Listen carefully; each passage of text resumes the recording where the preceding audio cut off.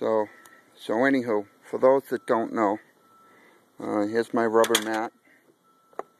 Again, this is just going to be for the trail, so this is no creature comfort. There's not going to be a cushion in there for him to lay down and take a nap.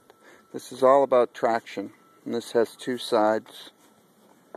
That side and that side. And for those of you who don't know how to do this shit, and if he starts barking, I'm going to kill him. Back here. Hey. Alrighty. Um, the template goes right over.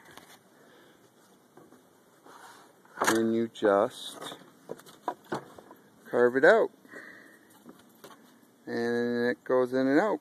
Like that, baby. Uh-huh. Like this and like that and like that. Uh-huh. So there you go. So um, I'm going to cut that out. I'm going to put it in and I'm going to be done. See ya.